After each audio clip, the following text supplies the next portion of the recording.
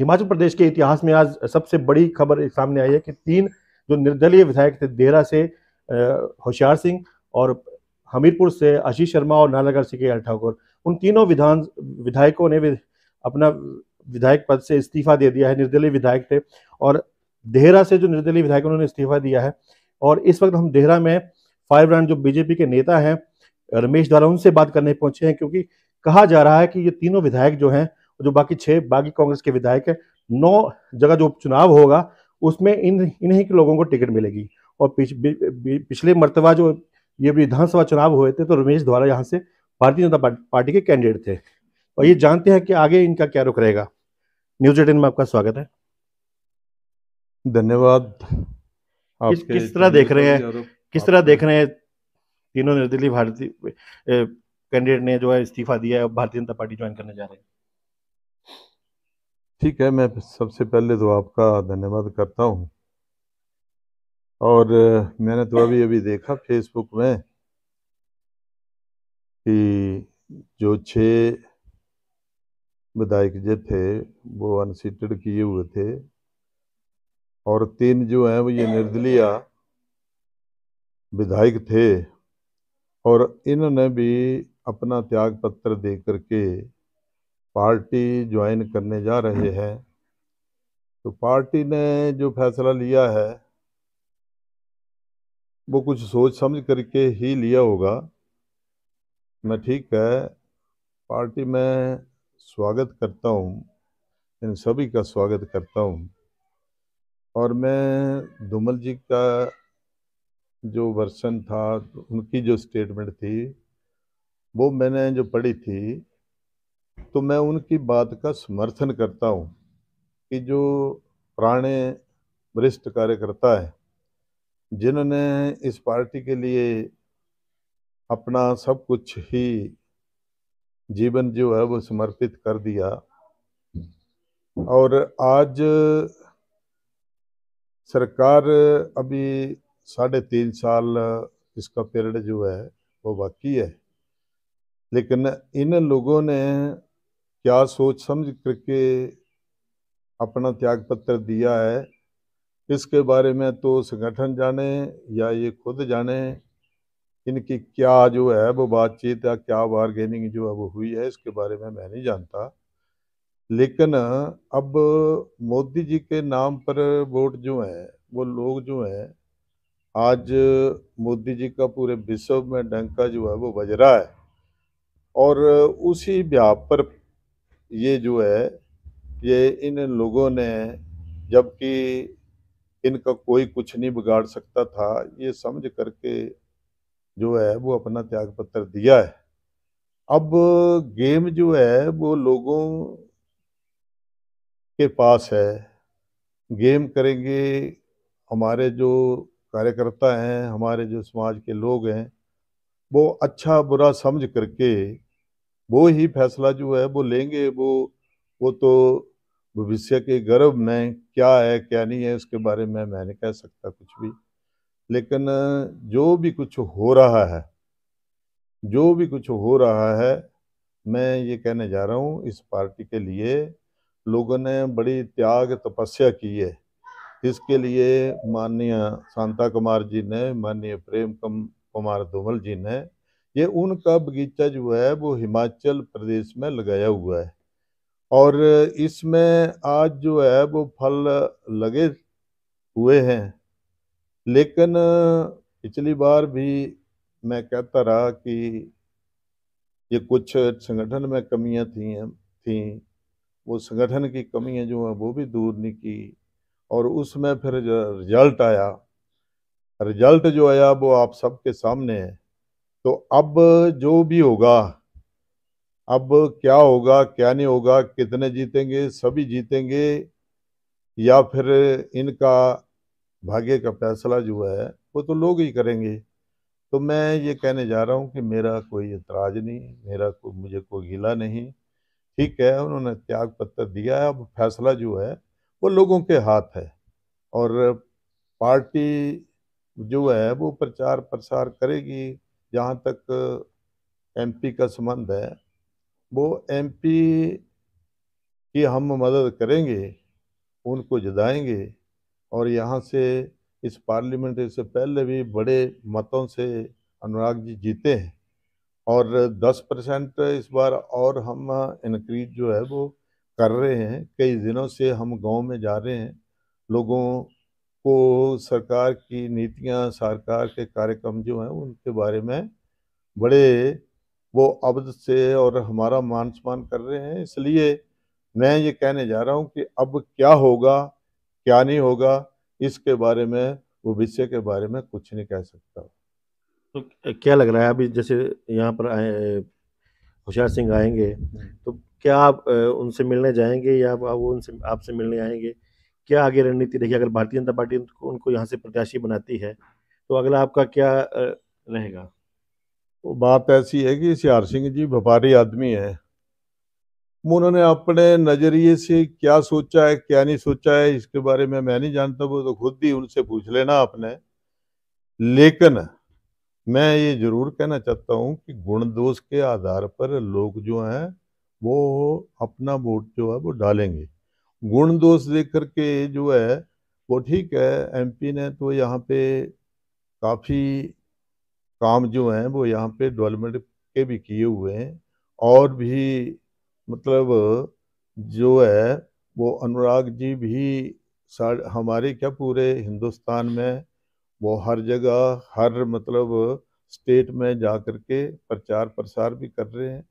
और हम ये कह रहे हैं कि उनकी उनकी जो आज जो बुलंदियों पे छू रहे बुलंदियों को छू रहे हैं वो तो इसलिए मैं ये कहना चाहता हूँ कि आज हिंदुस्तान के मानचित्र पर अनुराग जी का नाम है। अब होशियार सिंह जी आएँगे, क्या बताएँगे, क्या नहीं बताएँगे, उसके बारे में तो वो ही बेहतर जानते हैं तो आपने उनसे पूछना पे आपने। आप जब आपको पाँच साल के लिए भेजा था तो डेढ़ साल में आप रजाइन दे करके क्यों आगे इसके बारे में तो वो ही बता सकते हैं मैं नहीं बता सकता। तो कार्यकर्ता तैयार है भारतीय जनता पार्टी का? मैं मैंने अभी देखा कार्यकर्ताओं से बातचीत करेंगे। कार्यकर्ताओं से बातचीत करेंगे ये तो अपना व्यवहार है ना। ये व्यवहार उनका अच्छा होगा तो उनको दोबारा फिर वो लोग जो है वो बना देंगे। व्यवहार व्यवहार अगर ठीक नहीं होगा तो लोग सोच समझ करके वोट डालेंगे। वो तो गुण दोष के आधार पर होगा फिर। कहा जा रहा था कि जितने भी जो बागी कांग्रेस के विधायक हैं, वहाँ पे जो भारतीय जनता पार्टी के लोग हैं, वरिष्ठ नेता हैं, अब जो निर्दलीय तीन विधायक इस्तीफा दिया है, वहाँ भी भारतीय जनता पार्टी के आप भी बड़े नेता हैं।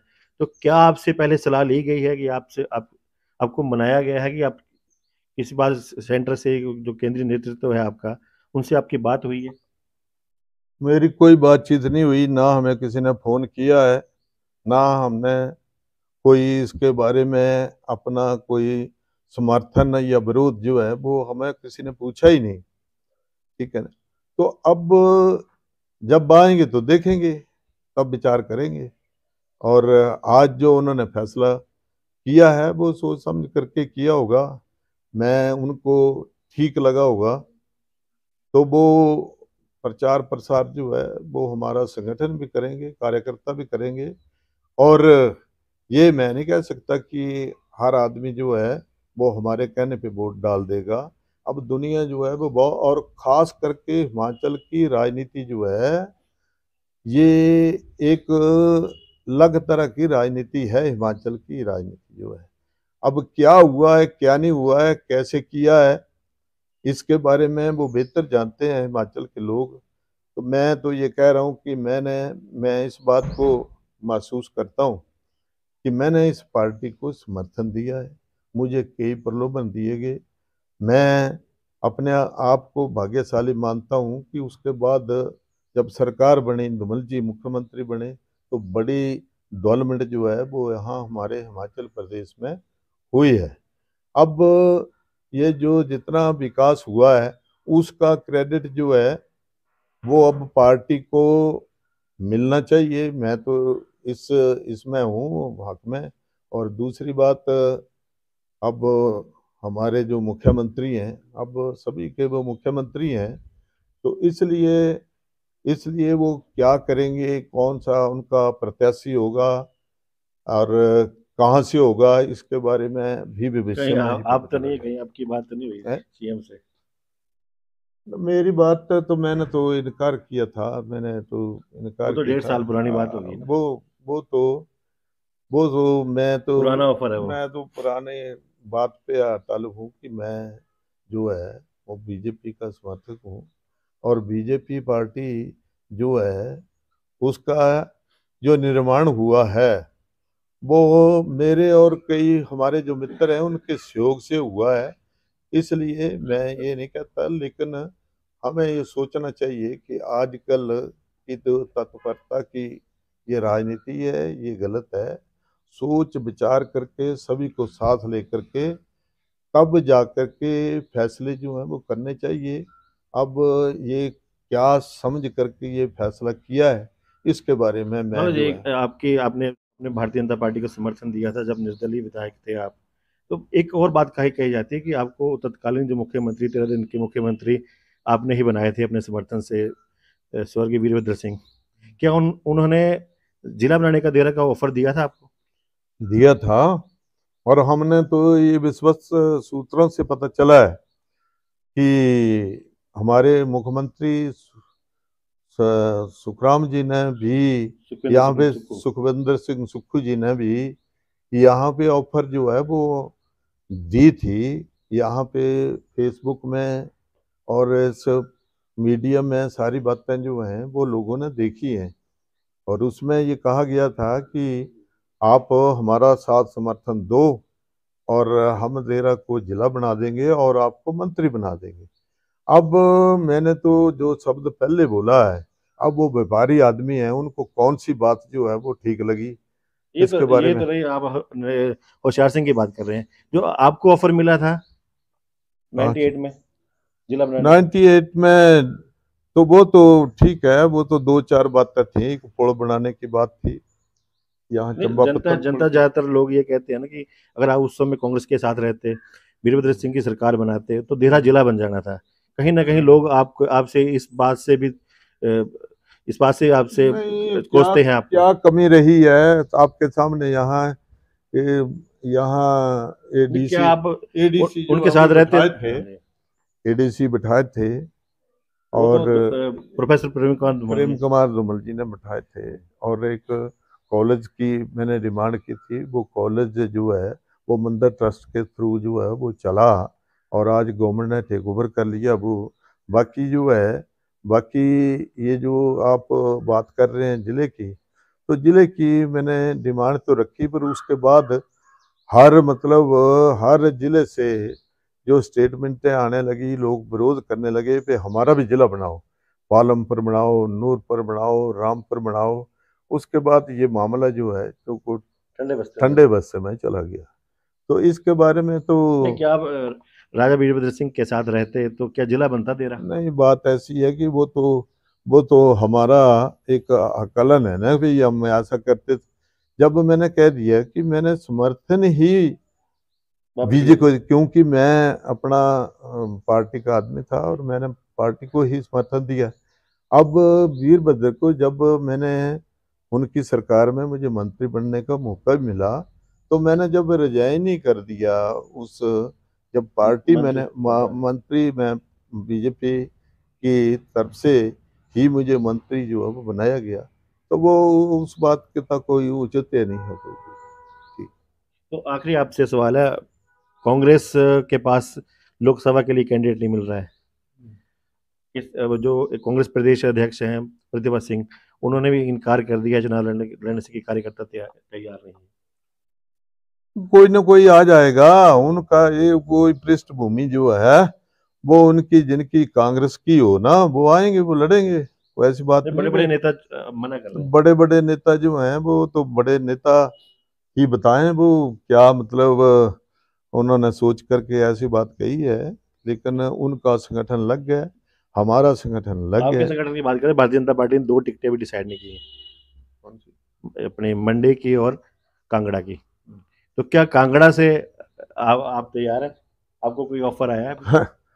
ना मैंने ना मैंने किसी को फ़ोन किया कि मैं I want to contest the election from Kangra parliamentary constituency और ना ही मुझे फ़ोन आया और न ना ही मैंने किसी को फ़ोन किया।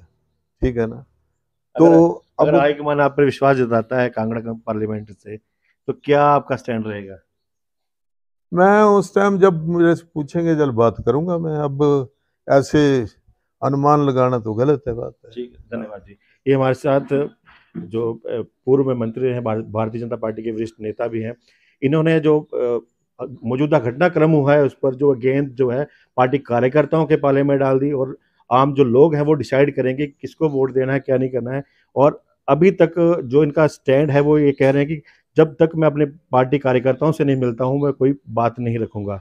ब्रजेश्वर साकी न्यूज़ एटीन देहरा।